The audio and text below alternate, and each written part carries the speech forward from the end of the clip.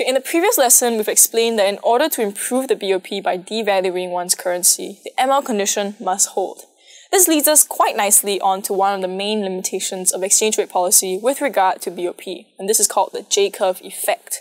Now this problem arises because the PED for imports and exports are likely to be low or inelastic in the short run. Consumers take time to change their consumption patterns and preferences away from imported goods. It takes time to find domestic substitutes for these imports.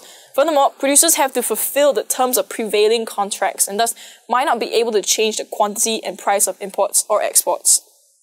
And because of the low PED for imports and exports in the very short run, the ML condition does not hold.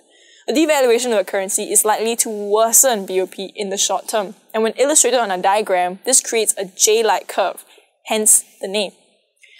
Another limitation with exchange rate policy to um, and using it to alter BOP is that it does not tackle the root causes of a BOP deficit.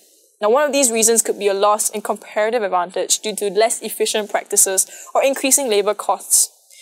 Altering the currency merely serves to mask these problems, which might cause them to persist, making the policy unsustainable in the long term.